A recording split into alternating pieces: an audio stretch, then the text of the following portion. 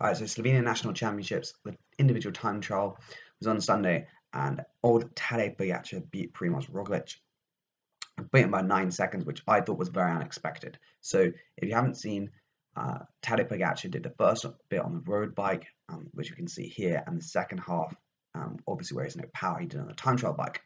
Now, we're going to analyze his data. We're going to add some Roglic data from earlier in the year. We're going to see why this is actually a very odd result.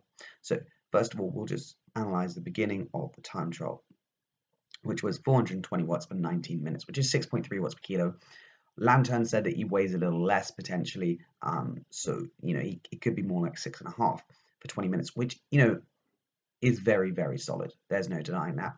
Um, but it's what what I expect for a world tour time trial, world tour climber like him. Um, that's you know sort of it's not off the chart. It was like 6.8, and you go well, but you know six and a half is, is sort of what we expect.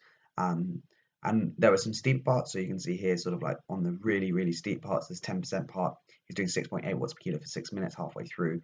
Um, and it, I don't think there were time tracks on the course, unfortunately, but you can see, you know, he's, he's riding super strong. Obviously, now he has no data, so we're going to go over to the time trial data.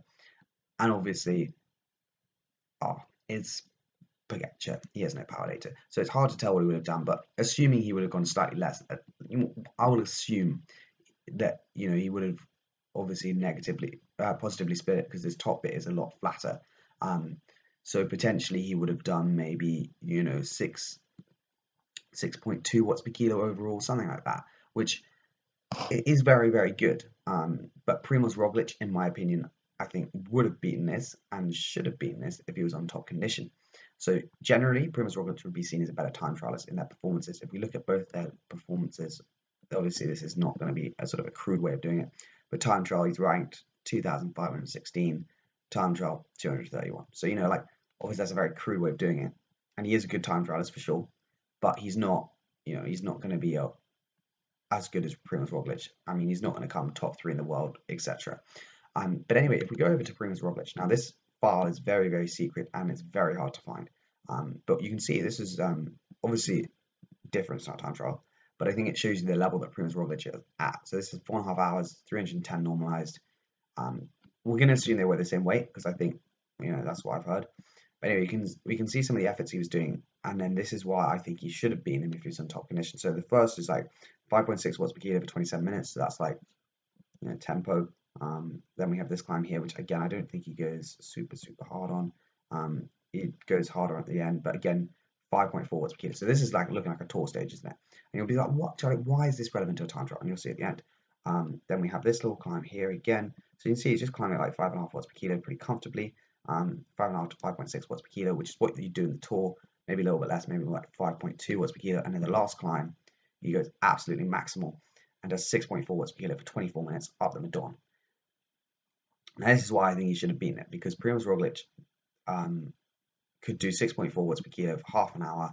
Obviously, it's on a climb, time trial climb, slightly different, but Pogacar did the first bit on a road bike. This is on the 16th of March. This was just before he was about to do Tirreno. He hadn't actually raced. Um, if we look at Primoz Roglic this year, he hasn't raced at all. His plan was to do Tirreno, I think, and then get into the Tour. Um, obviously, it's change of um, change of scenery now, but this is why I think that he should have won because he's a better time trialist. He's shown that when he has the best form, that he has more power. And obviously, you know, this is a long time ago, but I think it, it shows that he wasn't in the best condition because if he was, he would have beaten Pogacar for sure. Because on this first climb, you know, we can assume that he's doing 6.4 watts per kilo. Well, we already know that Roglic, who's done, like, how much work had he done?